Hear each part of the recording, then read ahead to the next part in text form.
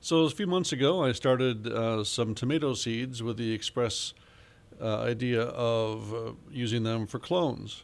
And uh, this is how they looked when I started my cloning project a couple of weeks ago. Uh, very healthy, looking really good. So I everything started out good. Took uh, some suckers off, you know, cut them off of the mother plants and uh, trimmed off the branches, the uh, excess branches on there, uh, using a real nice sharp razor blade uh, to get those uh, a nice clean cut there. And uh, I probably should have cut that other branch off there too. Is isn't really necessary to keep on, but uh, just you know if you're done, throw it in water and grab another uh, one or two. Or in this case, I, I took 16 total clones off of those mothers that were in there, and each one trimmed them up real nice and got them ready for the rest of the procedure. Uh, and I like to make them about uh, five or six inches long. Um, and this one I just cut off a little too long, so I trimmed it up a bit. So yeah, like I said, uh, I like to make them about five inches uh, uh, long, about the same height that all you know, all of them the same height and whatnot. And this is rooting compound or rooting gel. It's Clonex, and uh, there's powder, there's gel. This is a bit almost like ridiculously expensive. I'm sure the powder is a bit more reasonable. But uh, roll it around in there, and then this is where I started to go wrong. Uh, put it in my Rockwool cubes. These are two by two cubes, and um, then I put them in my tent with the, the lights and whatnot.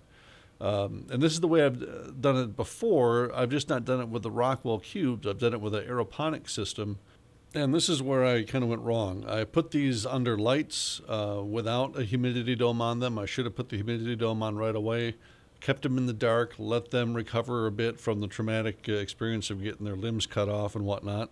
Um, and I, uh, you know, this is just not the right way to do it. You can see they're all limpy. This is over about uh, four or five days here. Uh, I tried to put a humidity dome on to bring them back a little bit, but as it turned out, um, they did not uh, fare very well. Some of them did okay. Uh, I think I ended up with a total of eight uh, good clones, so about 50% uh, success rate or 50% failure rate. I suppose it depends on how you look at things.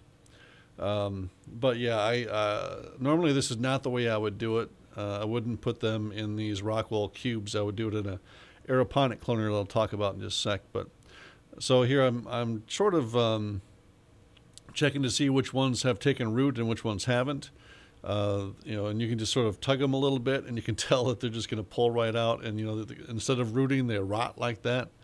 Um, you can sort of see down into the uh, the Rockwool if there's little roots coming out too. So I just go through each one, give it a little tug. If it pulls out, it's a uh, you know it's not going to work.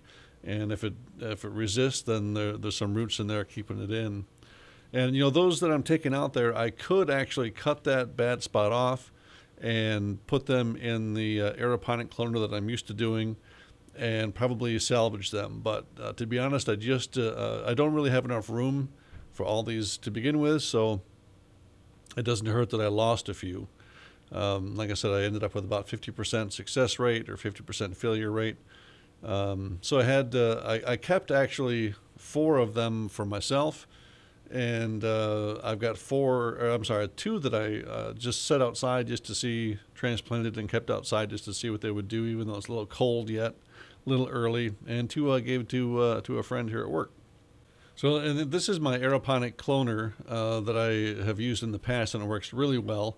Uh, you just put a, you know, put uh, probably an inch of the stem down into the cloner itself and it sprays uh, water onto the uh, the bottom of the stem and promotes the root growth uh, right off of there. And it works really really well. I've I've uh, in the past if I had all 24 full I might lose one or two but the bulk of them uh, work uh, you know root really nicely and they take off really well. But um, I should have done that this year. I did not. But you know it's all good. You live you learn you don't uh, can't win them all, I suppose. But certainly the way I cloned these things this year is not the way I want to do it in the future. So here's kind of where we stand right now. Um, I got uh, my Ned Starks, my King of the North uh, peppers back there. This is the uh, um, the ground cherry and looking really nice. I love the look of this plant. It looks very pretty. Uh, those are my peppers. You got your Ned Starks back there. You got uh, your uh, Carmens. This is the tomato tent. And um, one thing to, to notice about the tomato tent, and I'll point it out here in this other picture, is this monster in the back. This is a jasper.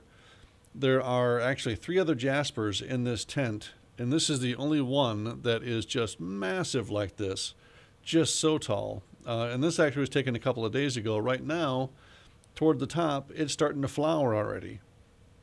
And uh, I mean that thing is twice as tall as everything else uh, in that uh, in that tent, and I don't know why, but that's just crazy.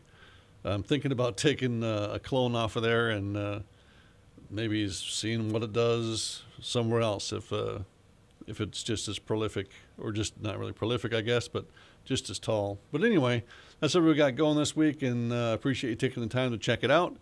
And uh, soon we'll be transplanting these things, so looking forward to that. Have a good week. See you.